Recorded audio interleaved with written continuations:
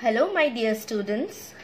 I'm again back with two new and interesting topics for our today's class. Today, we'll discuss the two topics that you can see adjectives and their kinds and homonyms. So, children, take out your book, get ready for the class, and please pay attention. First of all, we'll discuss adjectives and their kinds. So let's begin with the definition. What is an adjective? An adjective is a describing word. It describes a noun or a pronoun. It usually comes before the noun it describes. It can also come after the noun in a sentence. Example, Sita is a clever girl. I don't like that boy. He gave me five mangoes. Here, clever, that and five are adjectives because clever is describing Sita. Okay, clever is describing the girl.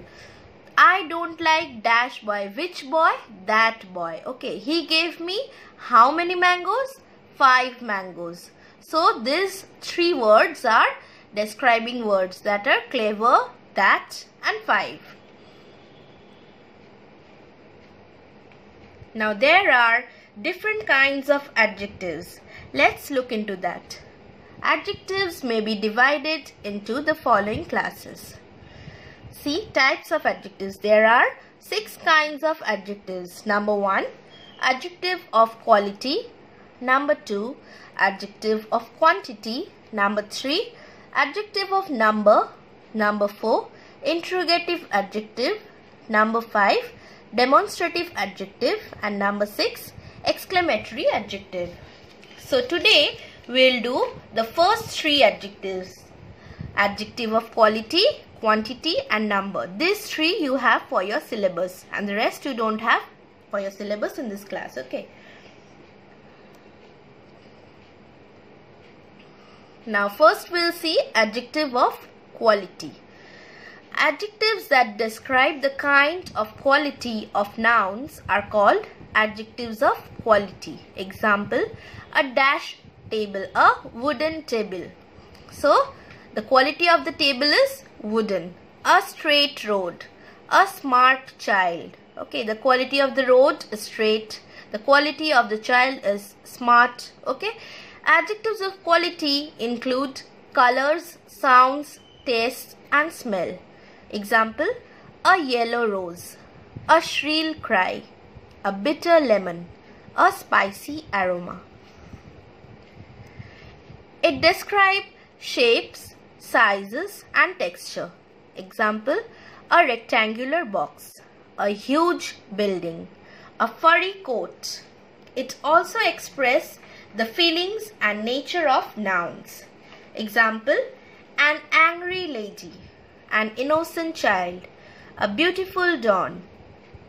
It further tells us about nationality, origins and location. Example, an Irish man, a Gujarati tale, the southern states. I hope you can understand. Now, we'll do an exercise related to this topic. Okay, fill in the blanks with adjectives of quality in the following sentences. Children, please take out your copy and note everything down. Okay. Number one. The girl has a dash voice. Sweet voice. The answer is sweet voice. The girl has a sweet voice. Number two. Akbar is a dash batsman. Akbar is a fine batsman. Fine batsman. Number three, that is a dash house. That is a big house. You can even write that is a small house. Okay. So here I am giving you the answer as that is a big house. Number four, I like dash roses. I like red roses. Number 5. It is a dash day. It is a bright day. Number 6. You may eat dash mangoes. You may eat ripe mangoes. Number 7. The milk is not dash. The milk is not good. Number 8. Kolkata is a dash dash city. Kolkata is a large city. Next, we'll move on to adjectives of quantity. Adjective which shows the quantity of nouns or pronouns is known as adjectives of quantity. It describes how much something is. They are not countable. Example, I ate some rice. How much rice? Some rice because rice cannot be counted. So here adjective is some. He showed much patience. He has little intelligence. He has lost all his wealth.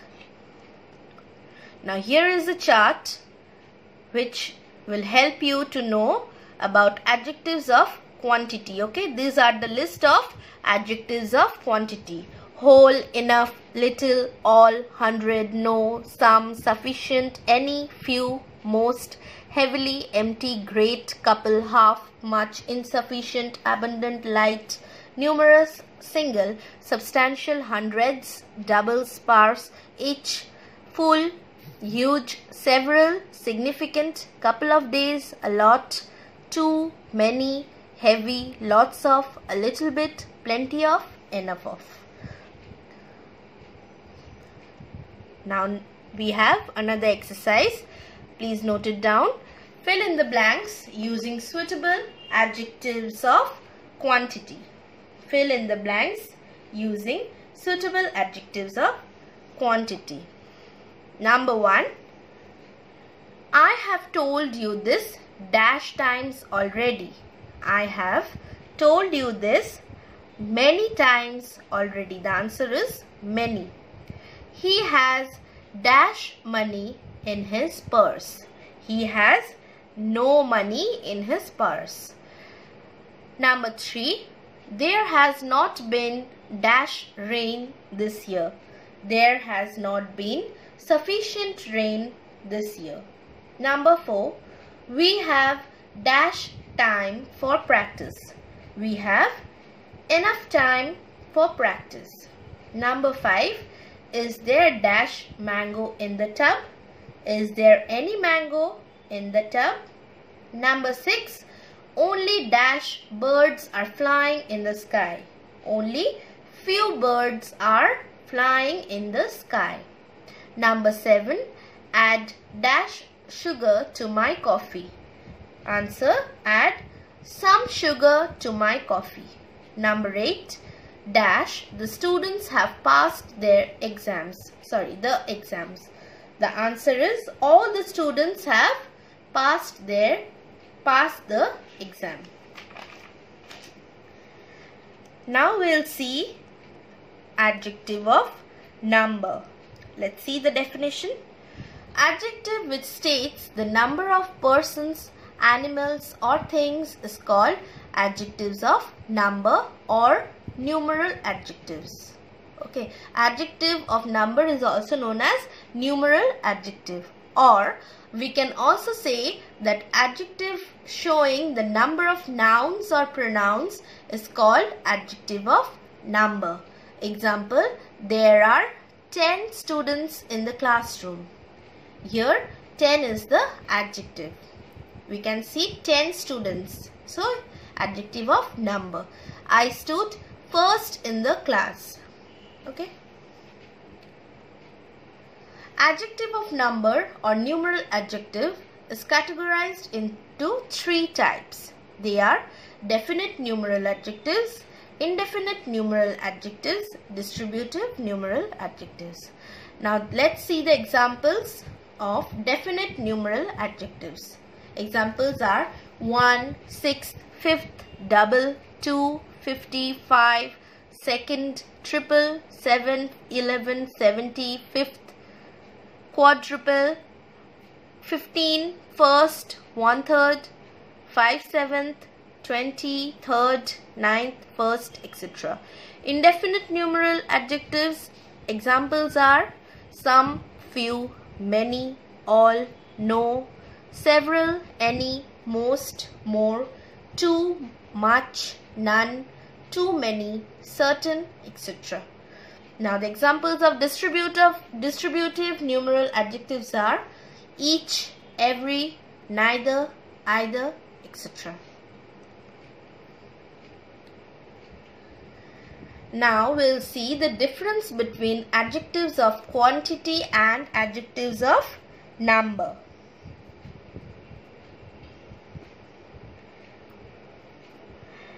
Children, adjective of quantity and adjective of number more or less sounds the same. But there are difference in these two kinds of adjectives.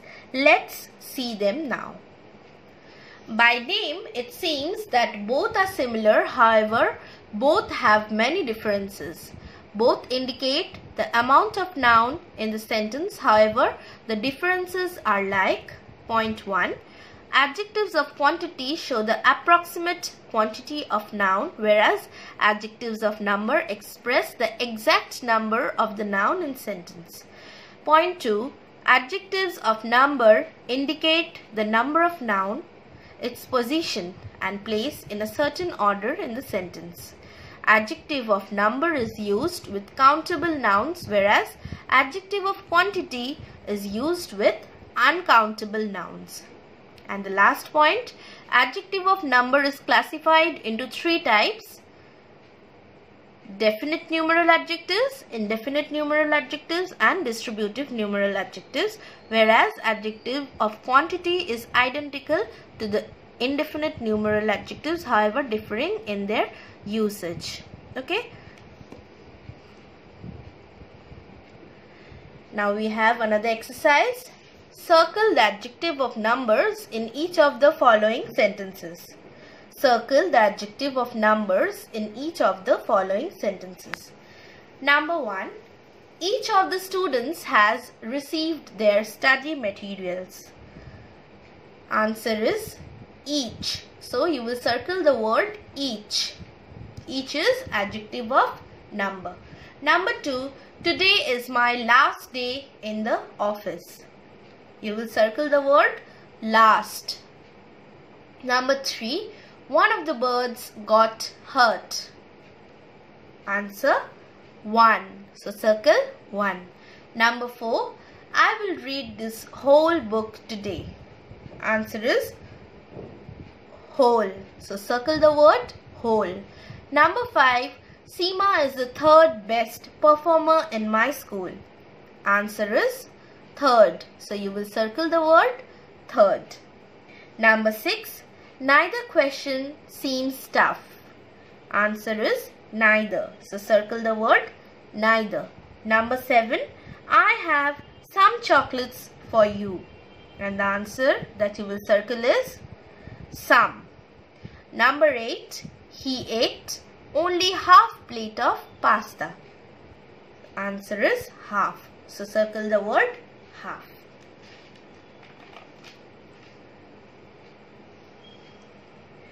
Now children, in your book, you will see that you have demonstrative adjectives.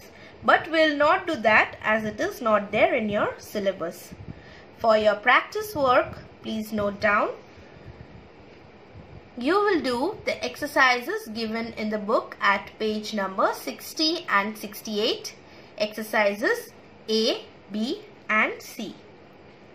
That's all about adjectives and kinds of adjectives. Now we'll go to the next topic that is homonyms.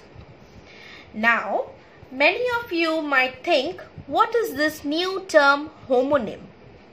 but you will soon realize that we generally face this thing in English while we speak or write but we might not be aware of the terminology. In this lesson, first we'll discuss what is a homonym. So let's see what is a homonym.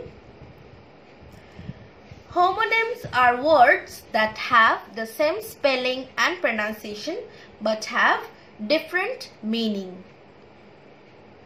Homonyms are words that have the same spelling and pronunciation that is same spelling and same pronunciation but have different meaning.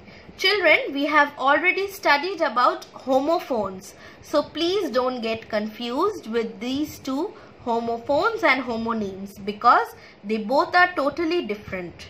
Homophones are words having same pronunciation but different meaning as well as different spellings. But homonyms are words that have the same spelling and pronunciation but only have different meanings. Now let's see some examples. So you will note it down. Note everything of homonyms in your copies. Okay. Number one, that is address. The first meaning of address is it defines the address of a person. That is your address, my address. Example, I have your address. Okay. And the second meaning of address is it refers as an act of addressing oneself to a person or a group. Example, he addressed a public gathering. Number two, we have play. The first meaning of play is to participate in a game. Example, he plays cricket regularly. And the next meaning of play is to act as indicated in the role, especially in performance. Example, he plays the role of a king in the event. Next we have right. First meaning of right is it is used when you are talk, taking a decision it may be right or wrong. Example, Shruti made a right decision to look over the matter. And the next meaning of right is it is also used to show direction. Example, the army attacked from the right direction. Number 4, fly. The first meaning of fly is a kind of insect. Example, a fly sat on my palm. And the next meaning is it also means to move in the air. Example, he is good at flying kites. Number 5, we have bank. And the first meaning is it is a place where we deposit our money. Example, he deposited his savings in the bank. And the next meaning is the land sloping down to a river. Example, she, she sat on the river bank. Number 6. Bear. Bear is an animal. Example, the hunter killed the bear. And the next meaning is to withstand or to hold up. Example, finally she could bear the suspense no longer. Number 7. Mean. Mean means meaning of something. Example, what does the sentence mean? And the other meaning of mean is not nice. Example, I really did not mean to hurt her feelings. Number 8, well, meaning in a good or satisfactory way. This is the first meaning and the example is the conference was very well conducted. And the second meaning of well is a pit or hole sunk into the earth to reach a supply of water. Example, the dog fell into the well. Number 9, saw. Saw is a tool having a long blade with sharp points along one of its edges.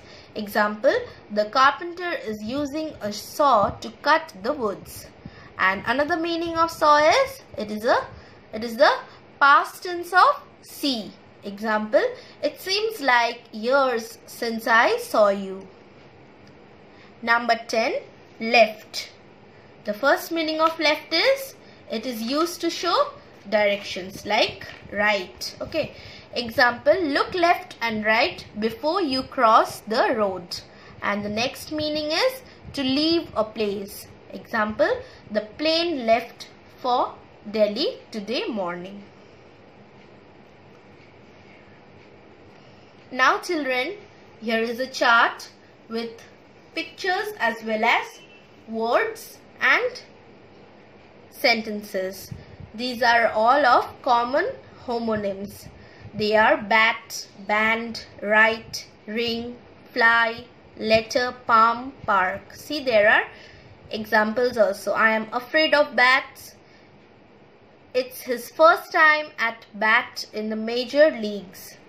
The band's playing old Beatles songs. She always ties her hair back in a band. You can go through this for more knowledge. Here are some more. Ruler, tie, can, rose, sink, watch, nail, ship. These all are some common homonyms. This is a list of homonyms in English. Address, band, bat, match, mean, right, ring, rock, rose, spring, stock, well, clip, date, drop, query, fly, letter, palm, park, point, ruler, saw, scale, ship, sink, tie, trip, wave, cool, duck, fall, file, foot, left, nail, watch, can, air, arm, bark, kind, lie, tender, tire, pool, jam, drink, note, glasses, orange, blue, remote, iron, light, seal. These all are list of common homonyms in English. Now we have some practice work. Please note it down. Find out two different meanings as well as make two different sentences with each of the given words. Like I have done from 1 to 10, you will do in the same way. Okay. Number 1, band. Number 2, lie. Number 3, bark. Number 4, match. And the last one is date.